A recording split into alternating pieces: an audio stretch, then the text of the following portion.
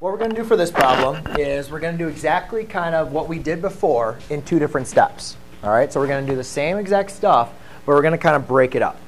So what we have is I have x squared minus 4x minus 13 equals 0. Now remember, you always want to see, you know, can you factor this? And unfortunately, this cannot be factored in our normal case that we've worked on. And it's said to, it's said to solve by completing the square. Now remember, completing the square involves creating a perfect square trinomial. So you have to create a perfect square trinomial.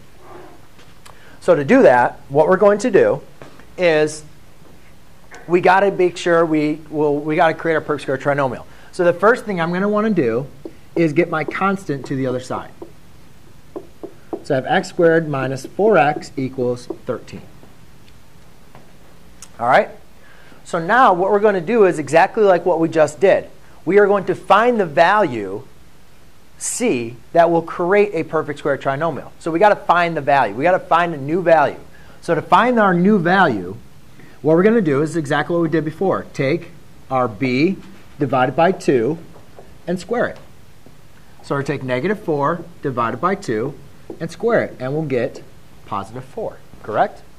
So therefore, we write x squared minus 4x plus 4.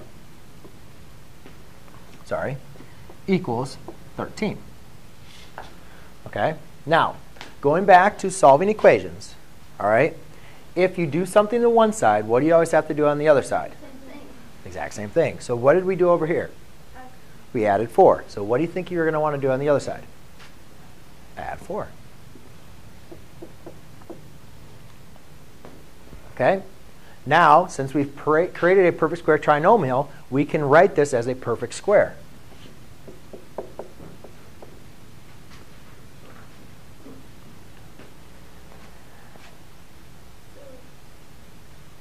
Right? Does everybody follow me? Remember to always find the perfect square, just take your b and divide it by 2. Does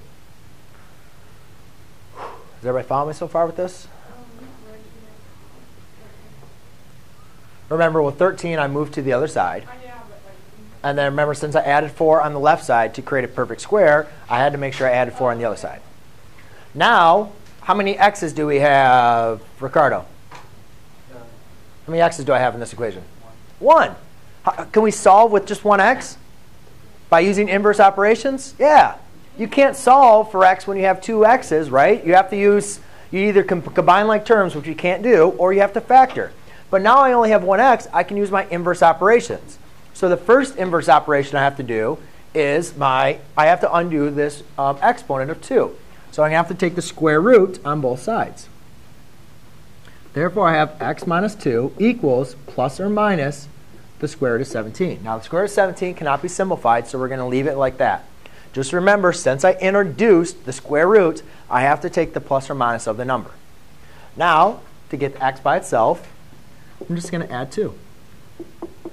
So therefore, my final answer is x equals 2 plus or minus the square root of 17. Yes? Or it can be simplified. Like the square root of 8, you know, you could simplify that as like yeah, 2 square root of 2. Right. Just leave it like that. Yep, and that will be your final answer. And notice you're going to have two answers, 2 plus square root of 17 and 2 minus the square root of 17. But we're not doing decimals. Just leave it like that. Yes? Would it be wrong if you left it like what? Here? No, that's, that's how I want you to leave it. Just like I don't want you doing decimals. I want the exact value. Okay? And that's it. Yes?